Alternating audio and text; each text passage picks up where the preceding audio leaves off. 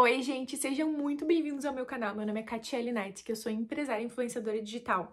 E hoje eu tô aqui para falar para você sobre 10 hábitos que eu tenho na minha última semana do ano. Então eu acredito que isso me ajude a chegar renovada no próximo ano, né? E tá com a minha mente mais em ordem e tudo mais. Então já deixem o like aqui para que a gente alcance mais pessoas, mais mulheres para empoderar, para dar força, dar coragem. Então deixem o like aqui e vamos para esse vídeo maravilhoso. Então vamos começar, gente, né? Parar de papo furado e gracinha e, ir direto ao ponto. Então, gente, a primeira coisa que eu faço na minha última semana do ano é visualizar o que eu espero do próximo ano, tá? Eu pego e escrevo tudo que eu tive de ruim no ano passado, escrevo tudo que eu posso melhorar e escrevo quais são as minhas metas de curto, médio e longo prazo. Inclusive, ontem foi ao ar aqui no canal um vídeo sobre isso, onde eu fiz junto com vocês essa visualização do que eu quero, do que foi o meu ano de 2022 e do que eu quero pro meu ano de 2023.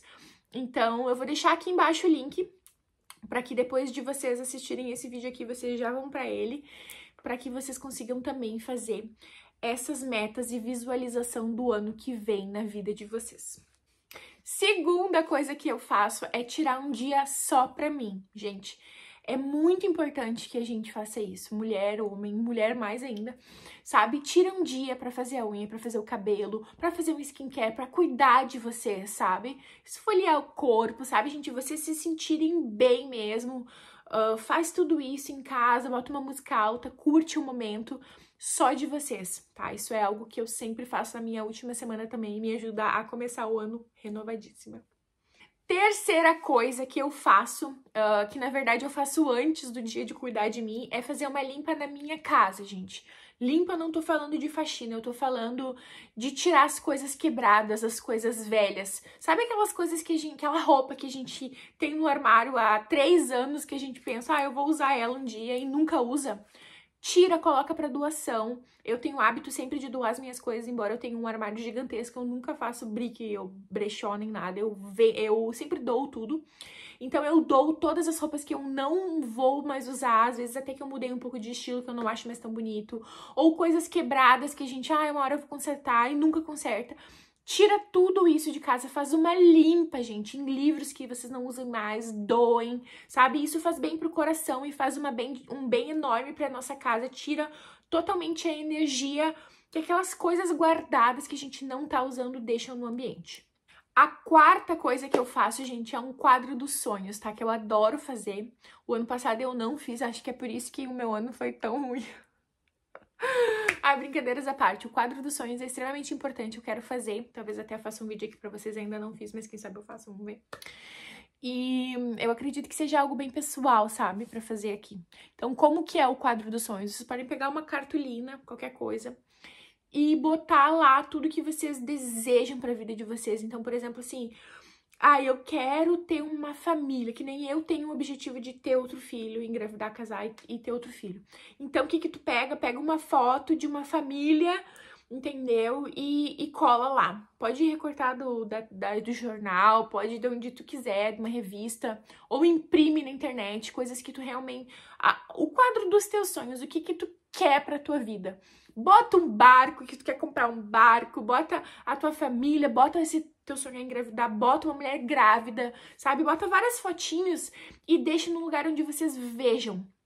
Entendeu? Porque, gente, isso ajuda muito demais. Cara, quando eu queria emagrecer e tá com o meu corpo ideal, que eu já tive há um tempo atrás, eu tava com uma foto de uma mulher trincadona, gostosona no meu quadro dos sonhos. E isso funciona demais, porque a gente acorda e visualiza aquilo, deixa em um lugar que vocês realmente consigam ver. Sem vergonha, entendeu? Porque uh, os nossos sonhos são somente nossos e ninguém tem nada a ver com isso. Então, deixem na porta do quarto de vocês uma mulher gostosona, assim, pra vocês, ah, quero emagrecer, entendeu? Qual é o que, você, que, que vocês gostariam de, de, de ter, o corpo que vocês gostariam de ter. E, e, cola lá. Quero engravidar, bota uma mulher grávida lá. Quero comprar um carro, bota um carro lá, sabe? Isso é uma forma muito boa de acordar todos os dias e já refrescar na tua mente que tu tem que ser o teu melhor todos os dias para que tu chegue naquele objetivo. Quinta coisa que eu faço é me conectar de alguma forma com a natureza, sabe? Por exemplo, onde eu moro tem um, um lugar chamado Sunset Cliffs, que é tipo umas montanhas enormes, assim, meio que um abismo e tem o um mar. Gente, eu vou lá e desligo tudo, fica longe do celular, só desliga, se conecta com a natureza. Uma forma muito boa de se conectar com a natureza, gente, é em silêncio sempre, tá? Uh, não estejam no meio da muvuca, não estejam escutando música, não estejam mexendo no celular. Uma coisa que eu aprendi a fazer quando eu não morava aqui era botar minhas duas mãos numa árvore, sabe?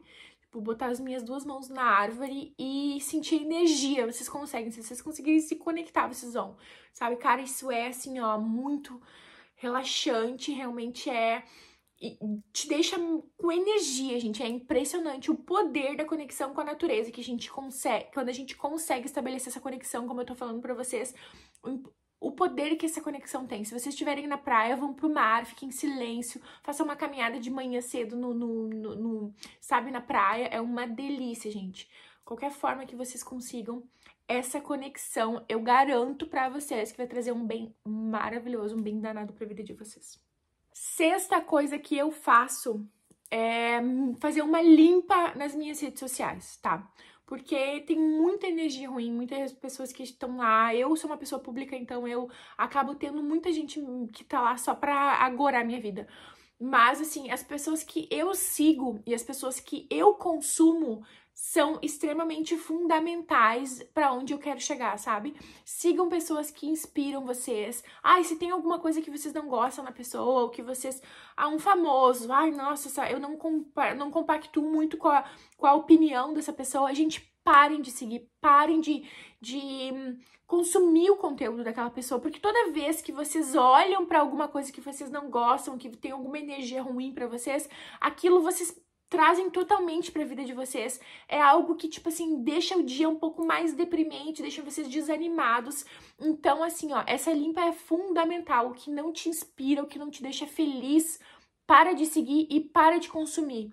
Entendeu? Site de fofoca, gente, é algo que também vocês têm que filtrar muito bem. É legal estar bem informado, eu sigo alguns, mas, tipo assim, se eu vejo que é uma opinião muito radical sobre algo, não tá lá dando informação, tá lá se querendo fazer lavagem cerebral nas pessoas e querendo fazer tu concordar, eu já paro de seguir também. Então façam essa limpa nas redes sociais de vocês e consumam somente o que inspiram vocês, o que deixam vocês felizes e com energia.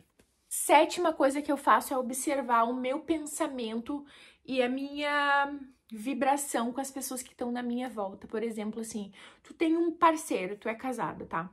Tu olha pro teu marido, tu acha alguma coisa muito ruim nele e tu pensa toda vez que tu olha para ele, tu, tu pensa naquilo. Ai, nossa, meu marido não trabalha, ele não, não é esforçado. Conversa com a pessoa, fala, ah, eu gostaria muito que a gente conseguisse melhorar isso, isso, aquilo, isso me incomoda. Isso. Primeira forma de resolver é conversando. Segundo, gente, o que não depende da gente não pode nos afetar entendeu? É proibido, eu tô proibindo vocês agora de se afetarem com que vocês não podem mudar ou melhorar, entendeu? Então, assim, aceitem as pessoas como elas são, sabe? Se não tá bom, tenta resolver, se não resolver, melhor seguir tua vida sozinho, entendeu? E não ter aquela energia pesada todos os dias na tua vida.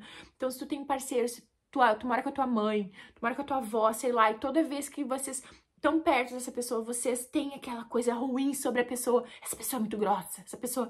Cara, isso só faz mal pra gente mesmo, porque às vezes a pessoa nem sabe que a gente pensa aquilo dela, entendeu? Então a primeira coisa é resolver, tentar resolver. Se foge do nosso controle, não pode nos estressar, entendeu? Então façam isso, pratiquem isso e quando vocês, uh, depois de tentarem resolver, não conseguiram, olhar para aquela pessoa e ter aquela energia uh, negativa, vocês que têm que se policiar e pensar: essa pessoa é assim, eu vou aceitar ela do jeito que ela é e não vou mais ter esse tipo de pensamento negativo sobre essas pessoas.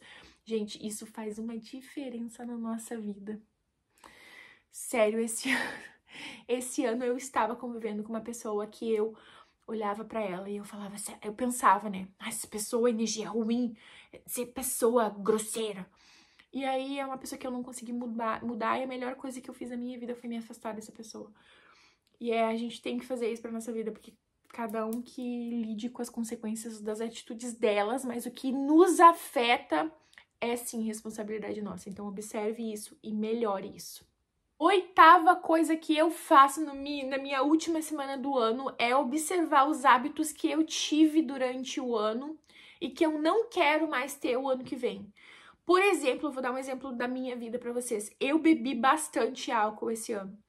Uh, não, não no nível de ser alcoólatra, de ficar bêbado, não, nada disso. Mas de, tipo assim, de ver isso como uma forma de relaxamento para mim, sabe? Ai, chego em casa cansada do trabalho, ai, vou beber alguma coisa pra para desestressar. Gente, é um hábito ruim, é um hábito que eu coloquei na minha vida que eu quero tirar. Então, ah, é o hábito que eu não tive esse ano foi fazer exercícios regularmente. É um hábito que eu quero ter o ano que vem, entendeu? Então, pensem nisso, pensem no que, que não foi legal e pensem no que vocês querem melhorar e tracem uma estratégia. Ah, eu sou obrigada a fazer, tipo, vou colocar na minha agenda semanal fazer no mínimo quatro vezes por semana exercício, cinco vezes por semana exercício. Aí vocês vão ver como é a rotina de cada um. Mas entender, perceber os hábitos que não foram legais e que vocês não querem repetir é muito importante para que vocês tenham um ano mais produtivo e mais feliz também. A nona coisa que eu faço, gente, é planejar o primeiro dia do meu ano, né? Eu acredito, a gente tem aquela superstição de começar as coisas com o pé direito, eu acredito que o nosso ano não deve ser diferente. Então, planeja o teu primeiro dia do ano de uma forma leve, de uma forma boa, entendeu? Uh, se vocês querem focar no trabalho, olhem o trabalho, vocês. Não precisam trabalhar no primeiro dia do ano, mas visualizem o trabalho, entra ali e, e, veja, tipo assim, nossa, que nem eu trabalho com a minha marca de bolsas, eu com certeza no primeiro dia do ano eu vou olhar os meus produtos, eu vou falar, nossa, eu quero que esse ano deslanche, que esse ano seja muito produtivo para minha marca, eu quero incluir o exercício físico, como eu mencionei para vocês no último ponto, então eu vou fazer uma caminhada, nem que seja de 30 minutos. Eu vou ler, eu quero ler mais no, no ano que vem, então eu vou ler que seja duas páginas, sabe? Tu planejar o teu ano da forma que tu tá visualizando ele também é bem importante. Então eu sempre tento planejar esse meu primeiro dia do ano de uma forma positiva e de uma forma leve, para que eu consiga, para que eu consiga ver basicamente o que eu quero tá praticando durante o meu ano inteiro.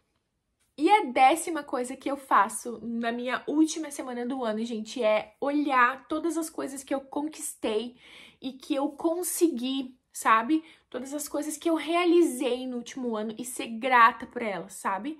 A gratidão nos leva mais longe, entendeu, gente? Eu acredito que se a gente não dá valor pro Fusca que a gente tem hoje, a gente não merece ter uma Ferrari amanhã.